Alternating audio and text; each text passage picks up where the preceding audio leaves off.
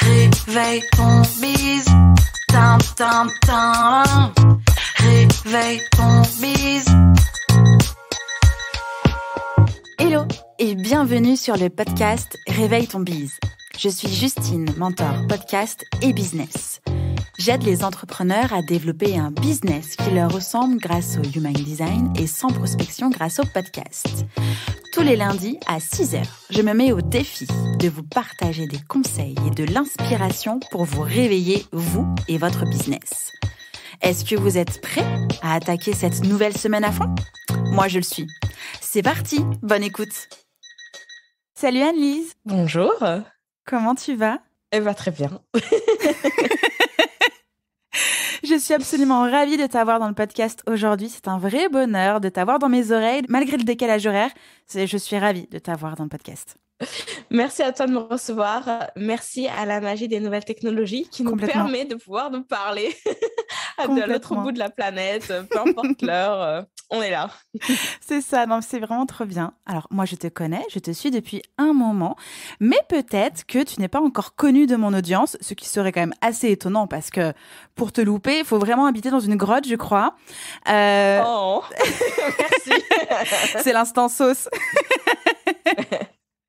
Est-ce que tu peux te présenter, s'il te plaît? Oui, alors je m'appelle Annelise Harris, mais peut-être que vous me connaissez sous le nom de Anne-Lise Gacala-Bourdier, euh, qui a été mon nom pendant très longtemps jusqu'à ce que je me marie il y a quelques mois. voilà. Et donc, je suis euh, coach en ligne, coach business plus exactement. J'ai deux comme deux grosses spécialités. La première, c'est de vraiment, euh, OK, on package en fait tes services que tu offres en one-on-one en une offre que tu vas vendre à un groupe ou en, en ligne, en formation en ligne, en format court et à un prix premium. Ça, c'est vraiment ma, première euh, spécialité, mais de là découle plein d'autres choses qui est de finalement bah, comment on se sert des réseaux sociaux, de mmh la communauté qu'on a pour vendre. Et pour moi, il y a beaucoup de choses qui passent au travers euh, du storytelling, de la vidéo en live, euh, etc. Voilà, c'est ça que je fais, que j'apprends à faire à mes clientes. Parfait. Tu as donc fondé ce que tu as appelé les impératrices. Pourquoi avoir mmh focus d'accompagner des femmes uniquement et de les couronner de ce nom-là? Ouais, alors euh, il y a tout un historique autour de, de ce nom d'impératrice. En fait, j'ai toujours eu des offres avec des noms de femmes fortes. Mon mhm. premier programme était un membership qui s'appelait les Warriors du Web. Et ça découlait vraiment du fait que quand j'ai construit mon entreprise, euh, je travaillais, hein, j'étais salariée et je me voyais vraiment comme cette warrior du week-end. Alors la nana qui bosse à fond le soir, le week-end pendant les vacances. Et ensuite, j'ai développé un autre programme qui s'appelle les Challengeuses, où mmh j'apprends justement bah, aux nanas à faire des challenges via la vidéo live, en fait, de vendre vraiment de façon authentique. Et là, c'était l'idée, bah, on se challenge nous-mêmes, on sort de nos zones de confort, on se met face à la caméra, on vend mais aussi le concept même qui est de on organise un challenge. Et enfin, il y a eu les impératrices qui est pour moi vraiment la consécration en fait, c'est l'aboutissement en fait de toutes ces années d'expérience, de ces programmes, de ces stratégies que j'ai acquises avec le temps où on est en mode OK bah là, je prends ma posture vraiment euh, de leader sur mon marché. Mmh euh, je sais qui je suis, je montre qui je suis, je partage mon histoire, je partage mon expertise, j'assume, j'assume mes prix, j'assume mon message, mes valeurs et je fédère une communauté autour de ça. Voilà. Ok, trop cool. Du coup, aujourd'hui, on va vraiment s'axer sur ce que tu appelles du coup vendre des offres à prix premium. C'est même le cœur euh, de, ce qu'il y a dans le programme des impératrices, si je me trompe pas. Oui. Euh, mais du coup, qu'est-ce que c'est qu'un prix premium? C'est quoi qu'on appelle un prix premium? Alors pour moi, un prix premium, ça commence à 1000 euros. On va dire c'est entre 1000 euros et allez 3000, 3000 euros, 5000 peut-être. 5000 mhm. est vraiment la limite. Après, pour moi, au-delà de 5000 euros, on est sur du high ticket. OK Donc, je fais vraiment cette distinction-là parce que le terme de high ticket, je trouve qu'il est un petit peu, euh, un peu, on, en use on abuse, je trouve. Mais pour moi, 2000 euros, c'est pas du high ticket. Et je crois que peut-être que c'est parce que je commence à être sur ce marché depuis un certain temps. Mmh Mais aujourd'hui, je sais qu'il y a des programmes qui se vendent à 25 000, à 50 000, à 100 000, 200 000 l'année. Je suis désolée, un prix à 2000 euros, quand tu as ça, bah, je veux mmh. dire que c'est pas la même chose. C'est vraiment pas la même chose. Même euh, d'un point de vue mindset, quand tu t'apprêtes à faire un tel investissement, tu n'es pas au même endroit. Bien sûr. Donc, je fais vraiment cette distinction parce que je crois que c'est déjà, quand tu démarres en ligne, c'est déjà un premier pas, en fait, de se lancer vers le premium. C'est déjà une mmh première sortie de zone de confort. Euh, franchement, je me rappelle euh, quand je passais par là, je me disais déjà à l'époque, mais qui va acheter? Qui va acheter quelque chose de moi à 1000 euros mmh Aujourd'hui, je me pose même plus la question. Aujourd'hui, ça va être plus pour 10 000. Et encore maintenant, j'ai passé ce cap. Mais justement, ça, ça retranscrit bien en fait l'évolution par laquelle on passe en tant qu'entrepreneur et notre état d'esprit et euh, où quelque part les chiffres sont relatifs. Donc, mmh. c'était une longue réponse pour t'expliquer euh, la différence que je fais entre le premium et le high ticket. Mais du coup, quel est l'intérêt de vendre à prix premium quand on peut déjà vivre de son activité sur Internet? C'est une, bonne question. En fait, moi, j'ai plutôt pensé dans le sens. rien. dans le sens où euh, il y a beaucoup de gens qui rêvent de vivre de leur activité sur le web. Et peut-être même d'ailleurs qu'en vivent déjà dans le sens où sur les, mes impératrices, mes clientes qui justement rejoignent ce programme pour apprendre à, vendre à prix premium, en réalité, elles vivent déjà de leur activité. Mais mhm. En fait, il y a le cas de figure où soit elles vivent dans leur activité parce qu'elles font du coaching one-on-one, que pour le coup, elles vendent à prix premium. Donc, c'est juste que là, le défi, c'est de sortir de, OK, pour, arriver, pour vendre à prix premium, dans ce cas-là, je dois justifier mon prix. Et mmh pour justifier mon prix, ça veut dire qu'il faut que je donne de mon temps, il faut que je donne de mon énergie. Et c'est une vraie, encore une fois, sortie de zone de confort, de vraiment shifter leur euh, euh, mindset, leur façon de voir sur, non, je peux vendre au même prix sans pour autant avoir besoin de tenir la main de mon client. Donc, il y a ça.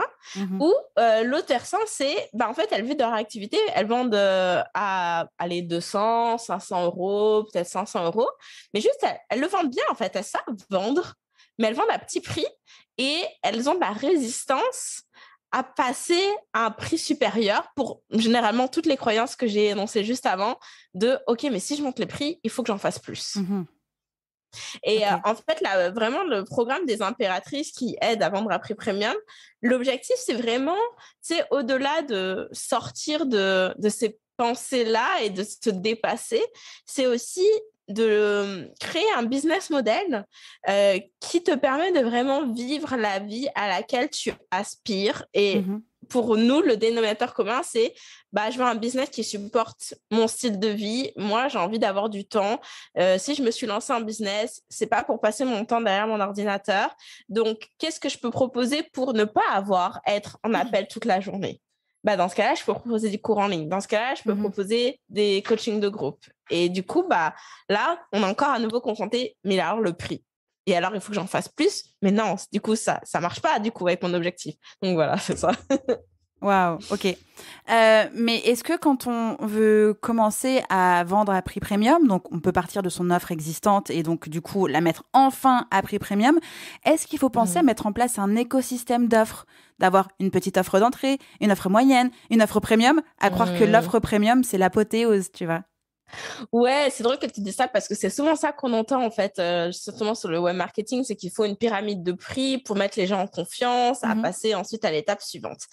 En réalité, c'est pas nécessaire. D'ailleurs, avec mes, mes impératrices, on travaille sur un an et je leur dis en fait, pendant un an, vous ne vendez que ça. Vous avez un produit. Et en fait, la force de faire ça, c'est que d'une, ça te permet de vraiment masteriser tes techniques de vente. Euh, d'avoir le plus de témoignages possible aussi, parce que du coup, bah, tout le monde a de plus en plus de clients, vous travaillez, vous peaufinez, etc. Et d'être positionné sur ton marché comme une personne de référence, parce que du coup, tu n'es plus la personne qui vend, oh, euh, je sais pas, un truc sur Pinterest, un truc sur Instagram, un truc mmh sur le CEO, etc., etc. Tu es la personne, pour moi d'ailleurs, qui fait les challenges pendant très longtemps, moi, j'étais positionnée sur je suis la reine des challenges, point. D'ailleurs, la preuve en est, aujourd'hui, je suis en train de relancer ce programme après deux ans d'absence. et les gens étaient au taquet. Et moi, je me suis dit, mais tout le monde a oublié que je. enfin, ça fait deux ans que j'en parle plus. Les gens ont mmh dû oublier. Mais en fait, non, les gens attendaient. Littéralement, j'ai reçu des messages disant ça fait deux ans que j'attends ça. J'ai mis mon réveil pour lundi matin. Et ce matin, les gens ont acheté parce qu'ils attendaient, parce que justement, pendant deux ans, j'avais vendu les challengeuses, que ça, que ça. J'ai vraiment rabâché les oreilles avec mmh mon programme. Ce qui fait que c'est comme ça que je suis arrivée aux six chiffres, en fait, avec une seule offre. Donc, Mmh. ça, c'est vraiment la, la première raison. Et aussi, la deuxième chose, c'est que c'est c'est vraiment des fausses croyances de croire qu'en fait, il y a besoin de bâtir cette relation de confiance parce qu'il y a des clients à tous les niveaux, en réalité. Preuve en est, il y a des gens qui veulent avoir une réponse à leurs problèmes qui soit qualitative, qualitative maintenant tout de suite. Mmh Si tu leur dis, bah, j'ai un e-book euh, là-dessus à 30 euros, bah, elle va dire, ouais, mais c'est non, ça, euh, moi, j'ai besoin d'en parler, j'ai besoin d'une méthodologie, j'ai besoin de quelque chose, quoi. Mmh Donc, il y a des gens qui sont prêts, en fait, à acheter à plus cher, qui sont prêts à acheter premium ou voire plus. Il y a une clientèle pour tous les stades. Donc, finalement, pourquoi euh, perdre du temps et de l'énergie à aller promouvoir un truc qui va te falloir des centaines, voire des milliers de ventes pour atteindre ton objectif financier, quand finalement, tu peux aller droit au but? Et est-ce que l'offre premium est souvent du coup l'offre signature? Ouais, en tout cas, c'est comme ça que je, je travaille avec mes clientes. Ouais, c'est ça qu'on fait. Et dans Mais ce qui n'empêche pas de développer un autre programme signature par la Hmm. suite. Parce qu'on évolue de toute façon. Preuve Oui. en est, là, mes challenges, c'était mon truc. Puis finalement, Mhm. j'ai bâti les impératrices. Ça n'empêche pas. est-ce que c'est plus facile de vendre finalement une seule offre, même si elle est à prix premium, que de vendre plein de petites offres? Je trouve que c'est plus facile. Parce que en réalité, quand tu vends plusieurs offres, bon, souvent d'ailleurs, ça veut dire quoi derrière Qu'on crée des nouvelles offres tous les 3-4 mois, etc. Donc ça veut dire qu'à chaque fois qu'on veut promouvoir une nouvelle offre, en termes de marketing, on repart de zéro. On doit euh, affiner euh, son positionnement, son pitch de vente, on doit créer du matériel euh, type email, webinaire, master, non, c'est la même chose, masterclass, challenge, ou peu importe euh, le type de lancement qu'on Mhm. veut faire, visuel, on doit absolument tout refaire de zéro. Alors que quand tu vends toujours la même chose, bah, ça veut dire qu'en fait, euh, tu peux vraiment monter en puissance en t'appuyant sur ce qui a déjà été créé précédemment. Mhm. Et c'est ce qui permet aussi, je trouve d'ailleurs, finalement, si tu as envie de pouvoir relancer très rapidement sans souci. Preuve en est, là, euh, on parlait des challenges que je relance aujourd'hui. Ça fait deux ans que je ne l'ai pas vendu. Bon, bah, en lancement, en fait, euh, je l'ai commencé à la préparer il y a deux semaines. Et j'ai déjà une séquence email de toute faite. En fait, j'ai Mhm. remis à jour, j'ai changé un peu mes visuels de, euh, de story et puis de page de vente et j'ai un peu remis au goût du jour parce qu'on voit que le truc, ça a été créé il y a quatre ans, je trouve, en termes de branding. voilà, l'esthétique a un petit peu changé, on a un peu professionnalisé les choses. Mais le message, le texte est exactement le, Le même. même. en fait. Mm. Alors que si vraiment je voulais faire un lancement qui part de zéro, pour moi, généralement, un lancement, ça prend trois mois à préparer Mhm. Mhm. pour vraiment faire, avoir quelque chose de complet. Donc, je trouve que c'est plus simple parce que ça va plus vite et ça veut dire quoi aussi Euh, Que tout ce temps économisé, bah, tu peux l'investir ailleurs. Tu peux l'investir sur vraiment améliorer ton programme pour en faire le meilleur programme possible, passer plus de temps avec tes clients. Ça peut dire aussi avoir plus de temps pour ta vie personnelle, j'ai envie Au de dire. mhm. Donc, voilà, moi, je trouve que c'est plus simple. Je trouve ça difficile, je trouve ça challengeant. Euh, personnellement, j'ai un peu ce syndrome de la page blanche à chaque fois que je dois créer une nouvelle offre. Je suis Mhm. comme, Oh, qu'est-ce que, ok, c'est quoi le bon message? Puis tu as comme toutes les peurs qui ressurgissent à chaque fois de, Oh, j'espère que je me trompe pas, j'espère que les Mhm. gens vont acheter, est-ce que je dis les bonnes choses, etc. Alors que quand tu as déjà testé, bah, tu sais que c'est bon, juste tu peaufines en fait. Bien sûr. Mais quand on parle de facilité de vente, alors effectivement, il y a tout le travail en amont qui est à peu près le même, euh, même si effectivement une page de vente pour un e-book n'est pas la même ampleur, n'a pas le même impact qu'une page de vente pour un produit à 1000, 1005, tu vois. T'as pas le même Mm. travail, t'as pas le même investissement en termes de mots, tout ça. Euh, mais en termes de... Ouais, de, de, de vente, est-ce que c'est plus simple pour quelqu'un de dire, bon, bah, je vais vendre un produit à 120 que de dire, euh, je vais peut-être que c'est plus difficile de vendre un produit à 1005. Moi, je trouve pas, en fait, parce qu'en réalité, tu vois, tu disais, euh, ça demande plus de travail quand tu vends quelque chose plus cher. Bah, c'est pas vrai, en fait. Mmh. Euh, c'est pas plus de travail. Tu dois faire la même chose. Tu dois euh, définir, OK, c'est quoi le titre, c'est quoi la tagline, euh, c'est quoi les pain points, c'est quoi les aspirations. OK, il Mhm. faut que je fasse une page de vente. OK, faut que... En fait, tu fais le même travail et c'est pas plus difficile de convaincre quelqu'un d'acheter quelque chose à 100 euros qu'à 1000 ou à 10 000. Mhm. Et justement, c'est la raison pour laquelle je dis, bah, finalement, puisque ça demande désolé, puisque ça demande euh, tant d'efforts, bah, pourquoi pas le mettre dans quelque chose qui rapporte plus en bout, de, mmh. en bout de ligne Ça demande pas plus d'efforts. Pourquoi? Parce que le nerf de la guerre, dans le sens euh, en termes de conversion, qu'est-ce qui fait que ça convertit? C'est le fait d'avoir vraiment su toucher du doigt dans quelle situation se trouve mon client concrètement et quelle c'est la solution que moi j'apporte à le problème qui est vécu, mais de façon la plus précise et spécifique possible. Et en fait, ça, c'est la clé pour vendre à, succès, si je puis dire, que ce soit un produit à 100, à 1000, à 10 000, ça ne change pas. C'est ça, en fait, le fond. Donc, euh, quitte à faire ce travail-là, encore une fois, autant le faire pour quelque chose qui rapporte plus. Bien sûr. Je trouve. Je suis d'accord avec toi. Euh, est-ce qu'il faut une euh, grosse communauté? Non. Et c'est ça qui est fou, en fait. Bah, D'ailleurs, pour avoir j'ai envie de te dire, moi, aujourd'hui, je suis un demi-million de dollars de chiffre d'affaires j'ai pas, même pas 10 000 abonnés sur Instagram. Mmh. J'en ai 6 000, 7 000, je crois presque. J'ai pas une grosse communauté. Et dans mes clientes, je le vois, j'ai des nanas qui cartonnent avec euh, des challenges euh, où elles ont 70 personnes et elles font 10 cas. Mmh. Il n'y a vraiment pas de corrélation. Encore une fois, ce qui compte, c'est qu'est-ce que tu racontes. Bien sûr. C'est ça qui fait la différence. Quand on veut vraiment bien raconter, on repart évidemment sur les problèmes douloureux de la personne que l'on cible, on est d'accord? Ouais. Ok. Il y a ça, et personnellement, euh, bon, ça c'est moi, c'est ma petite euh, sauce secrète. Le storytelling, je trouve que ça compte. Parce que euh, c'est sûr que les gens accrochent évidemment avec ce que tu as partagé en termes d'expertise et qui va les aider de façon concrète. Cela dit, ce qui est aussi important, c'est que les gens, ils ont envie d'acheter de toi, en fait. Il y a ça qui, qui est déterminant. L'émotionnel rentre en mmh. compte. C'est parce qu'ils aiment ta façon de parler, ta façon de présenter les choses, euh, ta façon de faire des blagues, j'en sais rien, mais ça, ça compte.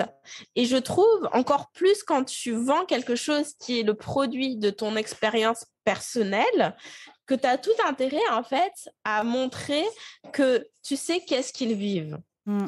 Que toi aussi, tu es passé par là et du coup, à infuser en fait euh, cette histoire personnelle euh, dans ton pitch de vente, quelque mmh part. C'est ça? Ok. Est-ce qu'il faut forcément faire de gros lancements? Alors, quand je parle de gros lancements, donc, il y a évidemment les challenges. Est-ce qu'on doit mettre en place des campagnes de pub? Je sais pas, sur Insta, Facebook, YouTube, euh, tous ces trucs qu'on peut faire de la pub. Est-ce qu'on doit forcément avoir des affiliés? Est-ce qu'on doit avoir une page de vente à trois pieds de long, une séquence mail de 17 mails avec euh, des, des, des, des trucs où s'il y en a un qui dit oui, ben, il part dans ce tunnel-là?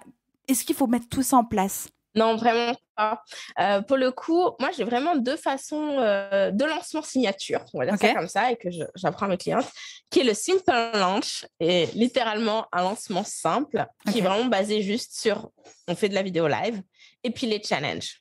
Alors, c'est sûr que les challenges, c'est un petit peu plus lourd en termes de préparation parce que voilà, il y a ce groupe Facebook, il y a des posts dans le groupe, il y a des emails de replay, etc. Mmh. Mais pour le coup, le simple launch, c'est vraiment littéralement, OK, euh, j'ai deux versions hein, en fonction de ton niveau d'énergie. Tu sais, est-ce que tu fais tout sur une semaine ou est-ce que tu fais ça sur trois semaines mmh Mais euh, tu es juste en live et c'est tout et ça s'arrête là. Euh, j'ai même des, un modèle de page de vente hyper euh, courte parce que, en fait, ce qui convainc les gens d'acheter, c'est pas ta page de vente, mmh encore une fois. En tout cas, dans mon cas, vu que c'est basé sur la, la vidéo, ce qui compte, c'est pas vraiment, c'est pas le, la longueur de la page de vente, etc sur la façon dont moi j'apprends à lancer et dont je lance, c'est vraiment ce que tu racontes dans la vidéo. Et du coup, on voit encore plus l'importance de finalement, bah, les gens aussi, ils connectent avec ton énergie, avec ta personnalité. Mmh Donc, on peut s'en servir. Ok. Mais c'est bien qu'on enfin, que tu puisses en parler parce qu'il y a quand même des, des, grosses croyances où plus le prix est élevé, plus les efforts vont devoir être, enfin, ils doivent être conséquents à, la hauteur du prix ou à, la hauteur de l'objectif qui est, enfin, ouais, qui est visé, c'est ça. Et, que tu puisses dire que bah non, il n'y a pas besoin de faire de la pub forcément, il n'y a pas besoin d'avoir euh, une page de vente euh, faite par euh, six copywriters ultra mhm. réputés, d'avoir une séquence mail de vente faite par quatre autres copywriters ultra réputés. Non, on peut le faire en fait beaucoup plus simplement simplement entre guillemets en étant soi parce que on sait en fait la valeur que l'on donne parce qu'on est passé par ce chemin-là et que la transformation on la connaît. On en est la preuve. Mais d'ailleurs, euh, j'en connais des entrepreneurs en ligne qui littéralement, et puis même ça m'arrivait de le faire, tu sais, où tu vends 100 pages de vente, en fait. Mhm. Juste, voici le lien. Point. Et tu parlais de copywriter. À date, ça fait 5 ans, plus de 5 ans que je suis en business en ligne. J'ai jamais euh, délégué le- la rédaction de mes pages de vente de mes emails. Ça, ça vient de moi, quoi. Mhm. Et, et encore une fois, en fait, être soi, ça suffit. Il n'y a pas besoin. de- En fait, souvent, il y a ça. Y a- Je crois que c'est un petit peu euh, lié au, au- à la société, à- aux valeurs qu'on nous met dans la... Enfin, valeurs, c'est pas le bon terme. Conditionnement. Oui, voilà, c'est ça. Conditionnement Mm, mm. sociétaux, euh, qui est que OK, tu es en business, donc ça veut dire qu'il faut que tu sois professionnel. Donc, être professionnel, ça veut dire euh, envoyer des trucs hyper carrés, super bien présentés, le make-up, le tailleur, le machin. Euh, non, en fait. Et je crois que c'est une bénédiction, quelque part, le business en ligne, parce que tu peux vraiment t'affranchir de ces codes-là et faire les choses comme tu le sens, à ta sauce, avec tes couleurs. Mhm. Complètement. Euh, vu qu'on parle de croyances et de conditionnement, est-ce que c'est facile, disons, du jour au lendemain, de passer d'un tarif genre 500 euros sur son offre et tout de suite se dire Allez, bim, premium, j'y vais, je vais tenter le 1000 ou le 1002 Et est-ce que ça se fait aussi simplement Ou est-ce qu'il y a des étapes et qu'est-ce qu'on doit en fait dégommer dans sa tête pour pouvoir y aller à ce 1000 euros qui est quand même assez symbolique? Ouais. Je pense que ça se fait aussi simplement. Je crois que le plus grand obstacle, c'est nous-mêmes. Euh, par contre, pour le coup, pour moi, ce qui est important, c'est que sais, c'est pas une question de juste mettre 1000 euros pour 1000 euros, c'est aussi euh, bah, apporter une méthodologie euh, aux clients pour résoudre euh, leurs problèmes. À mon sens, Mhm. c'est ça qui compte Bien le sûr. plus. im- euh, Et en fait, à partir du moment où on a une bonne méthodologie qui fonctionne, qui fait ses preuves, bah, sky is the limit. Enfin, y a pas de- Mhm. tu vois, ça peut être bien plus que 1000 euros. C'est tout dépend de la valeur que les gens accordent à la résolution Bien sûr, de cette problématique et Mhm. à, à travailler avec toi aussi d'ailleurs. Ça aussi, ça compte. évidemment. Euh, Est-ce que quand on a un- une offre signature à prix premium, il faut aussi la faire un peu dans le sentiment de la rareté, qu'elle soit pas toujours ouverte comme ça tout le temps, tu viens, tu rentres quand tu veux, tu l'achètes quand tu veux. Est-ce que on définit des dates, des cohortes? Est-ce qu'on la fait rare en fait dans l'année? Hum, Je crois pas que ça soit une obligation. Par contre, ce qui compte, euh, c'est plutôt donner une bonne raison aux gens d'acheter maintenant. Hmm. Et cette bonne raison, elle peut se traduire par plein de stratégies possibles. C'est sûr que ouais, les deadlines, c'est une, une des façons, mais ça pourrait être, euh, je sais pas, des bonus ou juste communiquer sur le coût de l'inaction. Mhm. C'est-à-dire, euh, OK, si tu n'achètes pas aujourd'hui, bah, quel impact ça va avoir dans ta vie. Mais moi, j'aime pas, je veux pas. euh, Alors attention, il y a une- plusieurs façons de le faire. Et un truc que je ne fais absolument pas, c'est tomber dans une espèce de. Oh, t'as vu, tu vas rater ta Hmm, vie si. Ultra culpabilisant de ouf. Ouais, voilà, je joue sur la, pe- le, la peur, euh, le marketing de la peur, c'est vraiment pas euh, mon créneau. Euh, moi, je joue plutôt sur l'autre versant qui est, bah voici qu'est-ce que tu pourras avoir accompli dans un mois Mhm. si tu nous rejoins. Et du coup, quelque part, le pendant de ça, c'est, mais combien de temps tu es prête à euh, repousser l'obtention de ce résultat? Très intéressant ce call d'inaction vu sous cet angle-là. Le marketing de la peur, c'est quelque chose qu'on voit beaucoup trop fréquemment, notamment quand les gens commencent à Mhm. faire du copywriting ou du marketing, bref, du business sur Internet, où bah, ils se disent, il faut que je mette en PLS les gens pour qu'ils puissent acheter chez moi. Euh, Ouais. Et du coup, c'est ça qui va justifier le prix. C'est parce que en achetant chez moi, t'inquiète, la PLS, tu l'auras pas. Alors que c'est complètement faux, en fait. Ce qui compte, c'est la transformation. Ouais, moi je déteste ça. Et je trouve qu'en fait, ça attire les pires clients, par contre, personnellement.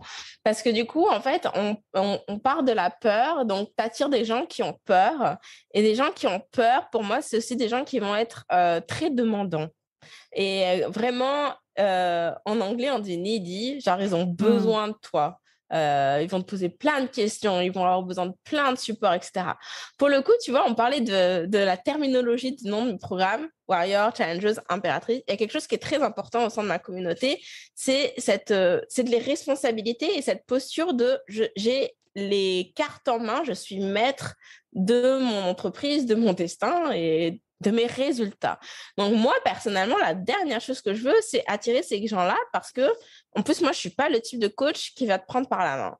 Moi, je suis là pour t'apporter une méthodologie, mais après, si tu décides de pas faire les choses, c'est ta Mhm. responsabilité. c'est pas la mienne et je vais pas être derrière toi pour te dire, euh, te rappeler que tu dois faire des choses en fait. Tu le sais, tu es assez grand, tu es adulte pour faire les choses. Donc le marketing de la peur, euh, pour moi, ça attire pas les, les, bonnes personnes. En tout cas, pas les personnes avec, avec qui mmh j'ai envie de travailler. Peut-être que si j'avais un syndrome de la sauveuse, ce que je pense pas avoir, peut-être que ça serait parfait. Parce que justement, je serais en plein dans, OK, bah, je vais sauver les gens et ils ont besoin de moi. Et du coup, bah, je suis en plein dans, dans mon domaine, mais c'est pas En parlant de syndrome, est-ce que le syndrome de l'imposteur est plus fréquent? Plus on augmente ses tarifs, plus on se sent illégitime en mode j'ai pas du tout le droit de faire ça. Je, les gens vont penser quoi de moi quoi? C'est pas possible. Pas. Euh, je crois que la première fois que tu fais un, gros bond en prix, ouais, mmh. t'as as ça. Mais une fois que tu te rends compte que tu es capable et que les gens achètent et que les gens aiment et que les gens ont des résultats, bah, tu passes à un autre niveau. Je crois, alors je sais, je sais pas si c'est vrai ou pas. Honnêtement, j'ai encore un peu du mal à la définir, mais tu sais, on dit souvent, alors ça, je pense pas que c'est vrai. On dit, oh, il faut déjà avoir acheté toi-même, investi tant pour euh, être capable de charger au même prix. Ça, je pense pas que c'est vrai. Par contre, ce qui est vrai, c'est que moi, aujourd'hui, ça m'est arrivé d'investir 25K cash. Euh, de ne mmh pas me poser de questions, euh, de d'investir 10K comme ça, etc. Et du coup, parce que moi, je le fais, parce que j'ai compris la valeur et que je sais que ça va m'apporter exactement ce dont j'ai besoin, etc., bah, du coup, je n'ai pas de problème à charger ce mmh prix-là à mes clientes. Parce que je sais ce que ça vaut. Donc, voilà, c'est une autre façon un peu d'appréhender le truc, mais je crois pas que plus tu montes et plus ça fait peur. Euh, je pense que c'est plutôt quand tu fais des grands sauts. Euh, honnêtement, justement, les impératrices, je l'ai vendu pendant très longtemps à, à 8000 euros. Le jour où j'ai décidé de passer à 10 000, bah, pour moi, ça faisait pas différent. Je me suis pas euh, posé de questions, quoi. Je savais que ça allait se vendre pareil. Par contre, la première fois que je suis passée de Déjà à 4000, c'était le tout premier tarif, c'était un autre format, etc. Là, ça m'a fait peur parce que j'avais toujours vendu à 2000, j'avais jamais vendu plus cher et là, j'ai eu peur. Et ensuite, quand j'ai décidé de le passer de 4000 à 8000, ouais, là, je, là, je me suis dit, c'est un gros, c'est un mmh gros saut, quoi. Et encore une fois, quand j'ai fait mon lancement, que j'ai vu, en fait, j'ai même eu plus de clientes que quand je l'avais vendu à 4000. Voilà, là, c'était bon, c'était acquis. Donc, c'est mmh. comme des paliers, je pense. Mais pas dans le, pas en termes de syndrome de l'imposteur, mais plutôt de, est-ce que vraiment les gens vont acheter? Je crois que c'est ça. Est-ce que vraiment je suis capable de le vendre? Et non pas, est-ce que je mmh. mérite euh, ça pour ce que j'ai à offrir. Parce que c'est ça le mmh syndrome de l'imposteur. C'est est-ce que j'en donne assez pour mmh justifier le prix? Ce qui est différent de euh, qui suis-je moi, quelque part? Est-ce que j'ai les capacités à amener des gens à me faire confiance mmh jusqu'à ce niveau? C'est ça. Donc en fait, la peur, elle serait plus au niveau de si c'est un échec, j'ai tout foiré, quoi. Ouais, et puis je crois que surtout la première fois là, que j'avais passé de, euh, de, de, de 4000 à 8000, c'était comme. Et après, si ça marche pas, comment je eh fais pour revenir en arrière? Et c'est ça un peu, c'est pour moi, c'était un peu la peur de ça va être un mmh. désaveu public. Même si en fait, en réalité, je crois qu'il n'y a pas grand monde qui prête attention à tout ça. et que on peut toujours, en réalité, ça, ça c'est des peurs. Donc les peurs, c'est pas forcément quelque chose mmh de réaliste là, hein. euh, parce qu'on peut toujours euh, rebrander, on peut changer le format, on peut tout repackager et puis arriver avec un nouveau titre. Et puis, c'est comme une nouvelle offre, même si en réalité, les enseignements sont grosso mmh modo similaires, tu vois. Mais les peurs, c'est pas forcément Complètement. Euh, J'aimerais rebondir justement sur l'idée de euh, bah, tu as réussi à vendre plus alors que le tarif était plus élevé. En comparaison, euh, quand j'ai lancé mon programme d'accompagnement pour les entrepreneurs qui souhaitent lancer un podcast au service de leur business, donc qui s'appelle Mova, au départ, je l'avais vendu en deux versions différentes. Il y avait une version formation en ligne simple, en mode euh, oui, je fais de l'evergreen. Ok. Euh, et une version accompagnement. Et en fait, j'ai fait ça euh, parce que je m'étais dit, bon, bah, peut-être que les gens n'ont pas suffisamment les moyens de prendre l'accompagnement. Sauf que moi, je m'amusais beaucoup plus sur la version mmh. accompagnement que la version formation. Donc, en gros, la formation, je m'en occupais pas du tout. Et comme je m'en occupais pas du tout, baf, pas de vente, en fait. Et le peu de vente que j'ai eu sur cette formation-là, j'étais frustrée en me disant, il y a toute la valeur à l'intérieur que je donne avec encore plus d'amour dans l'accompagnement, mais que j'ai bradé trois fois moins cher juste parce que j'y suis pas. C'était mmh. clairement pas cohérent. Donc, j'ai fermé l'accès à la formation MOVA. J'ai augmenté les prix de mon accompagnement MOVA parce que bah, j'ai rebrandé le truc, parce qu'il y avait encore plus d'expérience, parce que bah, du coup, c'est tout le temps un peu à jour, parce qu'ils ont accès à chaque fois au coaching de groupe. Bref, pour plein de raisons. Et euh, bah, ça m'empêche pas de vendre, tu vois.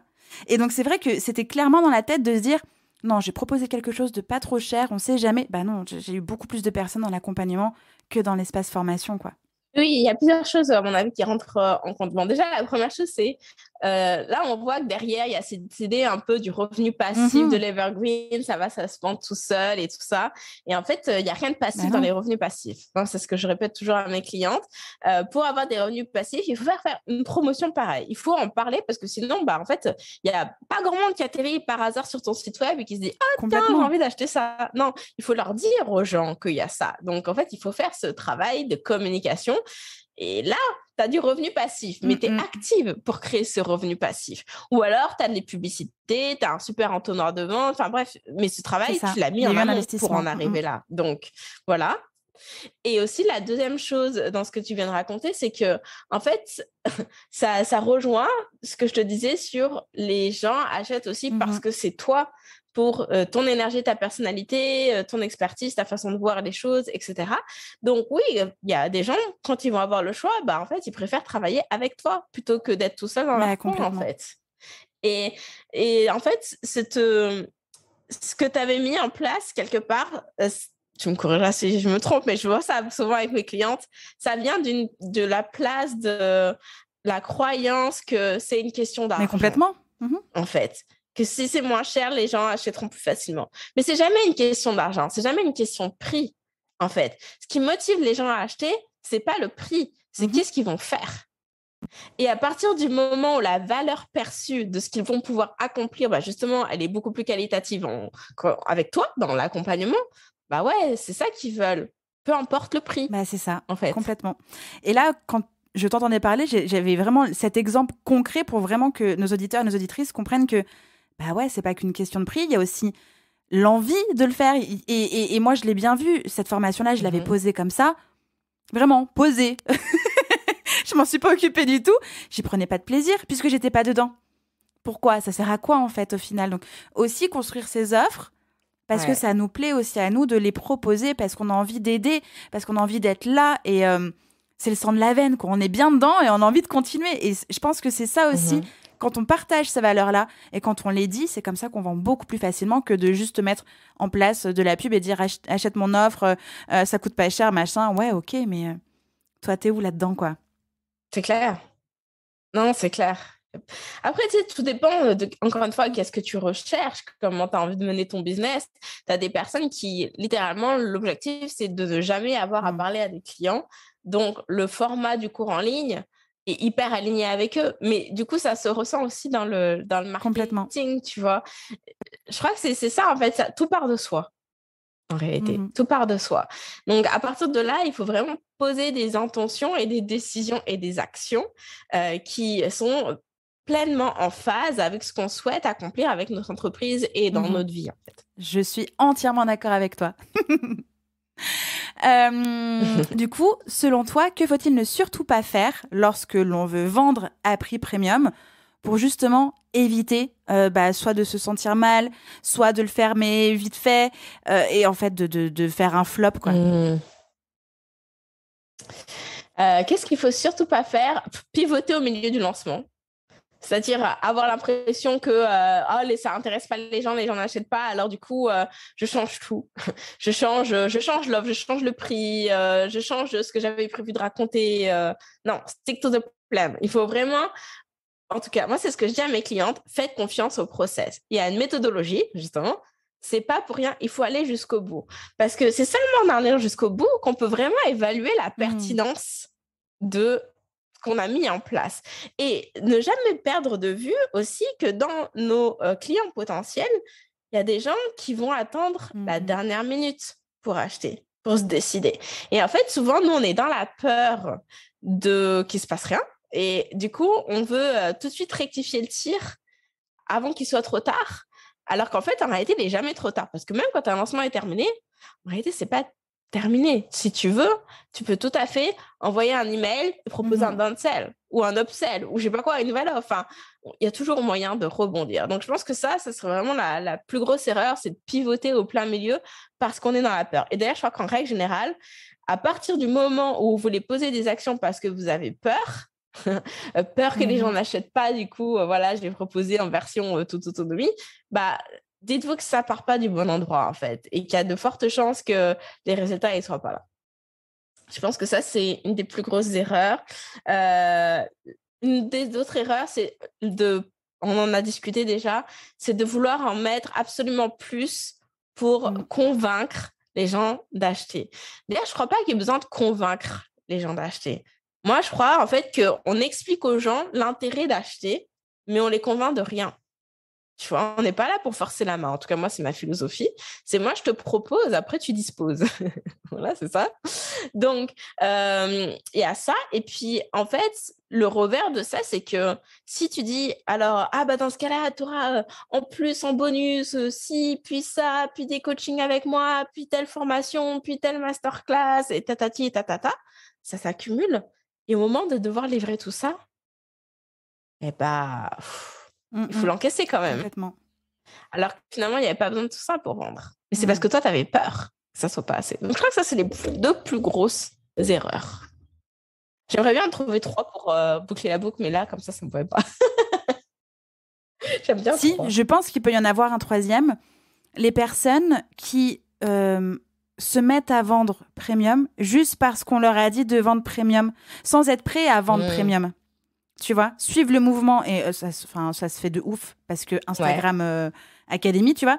Et du coup, bah, t'es là, tu fais un truc parce que tu suis le mouvement, mais t'es pas prêt, t'es pas prêt à, à, à, vendre, t'es pas à l'aise avec le tarif, t'es pas prêt à recevoir même ses clients sous ce tarif-là, et du coup, t'arrives dans un truc où c'est pas fluide.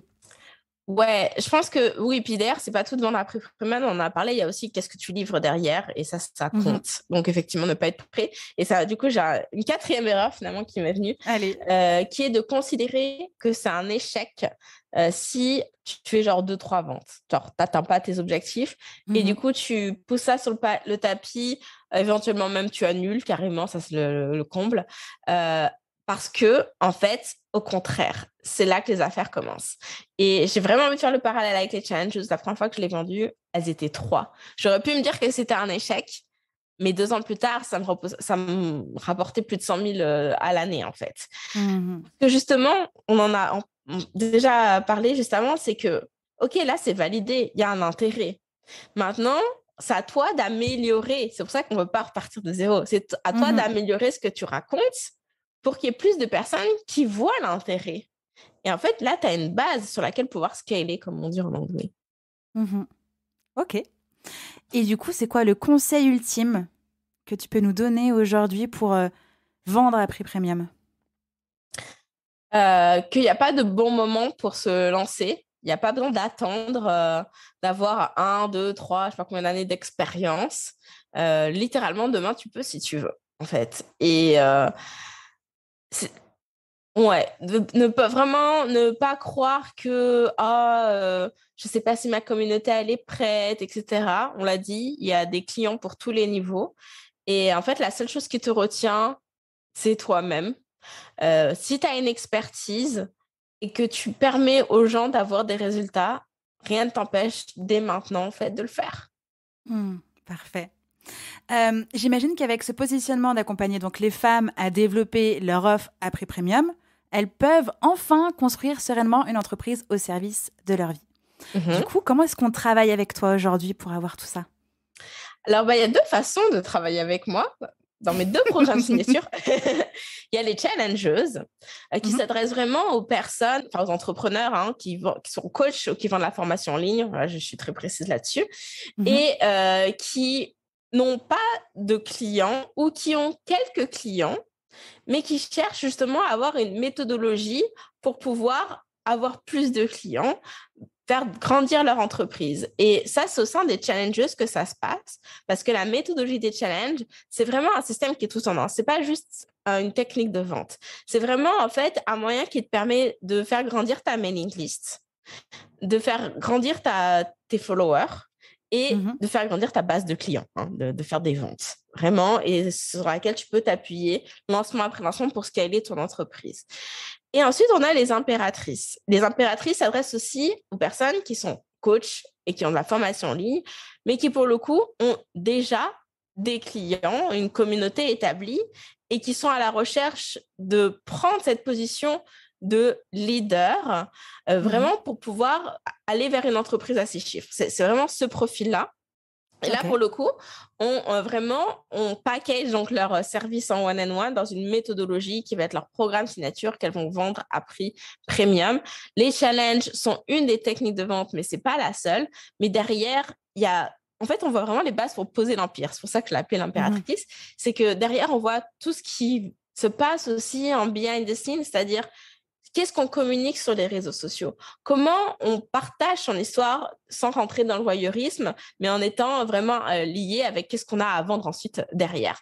Euh, comment on onboard nos clients, comment on automatise les choses, comment ensuite on crée, une fois qu'on a fait nos lancements, là, que le matériel est bien testé et prouvé, comment on crée cet entonnoir de vente? Tout ça, c'est vu au sein des impératrices. Donc voilà, c'est c'est les deux façons de travailler euh, avec moi. Donc, euh, pour l'un, c'est sur leschanges.com que ça se passe. Et pour l'autre, c'est sur lesimpératrices.biz. Très simple. C'est rigolo parce que tes deux offres, elles sont ultra complémentaires et on en revient avec cette idée de d'avoir une stratégie d'offre au niveau des tarifs, mais en fait, ça va même au-delà, c'est pas au niveau des tarifs, c'est se dire qu'aujourd'hui, on peut créer une entreprise, proposer des choses qui vont avec les avancées de nos clients idéaux et de nos clientes en fait. Tout à C'est fait. qu'on peut les aider à un lancement, on peut les aider à la vente, on peut les aider à, à plein de choses, toutes les problématiques qu'elles peuvent rencontrer au fur et à mesure de leurs avancées entrepreneuriales. Et c'est clairement ce que fait. fait en fait. Exactement. Mais pour moi, en tout- alors chaque, chaque parcours est unique. hein. Euh, le mien, c'est pas arrivé en un jour. C'est-à-dire que vraiment, pendant deux ans, j'ai vendu que les challenges. Et Mhm. ensuite, j'avais eu envie d'aller plus loin, donc j'ai proposé les impératrices et j'ai fermé les challenges. Et pendant deux ans, j'ai vendu que les impératrices. Et Mhm. maintenant que ces deux programmes sont bien établis, tant en termes de réputation que de contenu que de logistique, et que j'ai une équipe aussi, là, du coup, je me permets, enfin vraiment littéralement aujourd'hui, de relancer les deux, enfin d'avoir les deux programmes côte à côte. Mhm. Mhm. Mais euh, j'ai vraiment fait ce choix d'avoir, euh, d'aller jusqu'à le, entre guillemets, l'excellence de chacun des programmes euh, pour ensuite être en mesure d'offrir ces deux choses-là. Parce que Mhm. solopreneur, c'est pas facile quand même d'être sur tous les fronts. Hein? On va oui. se le dire. Et depuis quand tu travailles avec des personnes et combien de personnes tu as autour de toi? Alors, bon, des collaborateurs, euh, j'en ai eu depuis, enfin, je vais pas dire depuis le début, mais ça fait déjà plusieurs années. Mhm. Euh, pour le coup, j'ai vraiment deux personnes dans mon équipe depuis septembre de l'année dernière. J'ai euh, une assistante exécutive et une coach. Et quand j'ai une coach, c'est non pas qu'elle me coach, c'est qu'elle coach mes clientes. Hein. Ok. Voilà. Ça marche. Et du coup, elles sont à temps plein avec toi? Oui. Waouh, ok. Eh bah oui, eh bah oui. C'est ça le soloprenariat, c'est cette évolution, ça donne envie. Voilà. Après, évidemment, Euh. j'ai des, euh, collab- enfin, des contractuels autour de moi, Oui. qui- des Mhm. agences pour euh, la publicité, euh, pour le montage de vidéos éventuellement, enfin Mhm. des, des besoins un peu ponctuels comme ça, oui. Ok. La compta. On s- Ouais, la compta, oui, bah moi aussi, hein, c'est vite délégué ça. hein. tu m'étonnes. Je crois que c'est la pire partie possible. Merci beaucoup pour cet échange. Euh, merci pour ton sourire, c'était vraiment trop chouette de t'avoir devant les yeux dans mes oreilles. tu reviens quand tu veux. Nous parler encore une fois d'argent, nous parler de Mexique, nous parler de, de la vie en mode 5 étoiles parce qu'on mérite tous de vivre une vie pareille. Tout à fait. Et on peut. Tu viens quand tu veux. Et on peut. Merci de m'avoir reçu. À très bientôt. Bye bye. Bye. J'espère que cet épisode vous a plu. N'hésitez pas à partager le podcast à une personne qui veut aussi se réveiller avec vous. Retrouvez l'ensemble des informations et des liens en description de l'épisode ainsi que sur le site internet www.justinarma.com. Si vous avez des idées, des suggestions ou si vous avez juste aimé cet épisode et que vous voulez me le dire, direction Apple Podcast pour laisser un commentaire et des petites étoiles. Vous pouvez aussi me laisser des petits mots sur Instagram au nom de Justine-du-bas Arma avec deux A ou par mail à l'adresse hello@justinarma.com. N'oubliez pas de vous abonner à Réveil ton bise sur votre plateforme d'écoute préférée pour ne pas louper votre réveil. On se retrouve lundi prochain, 6h, pour un nouvel épisode. Bonne semaine. Ciao